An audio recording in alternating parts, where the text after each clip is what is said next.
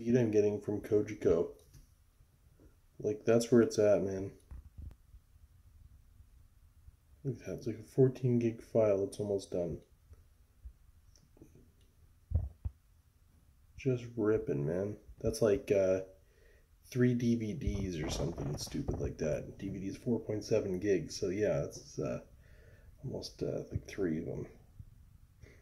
We've done in two minutes. That's crazy. On Bell, you'd be here till like next week. Absolutely crazy. That's the quickest download I've ever seen. Cogeco is the best internet you can get.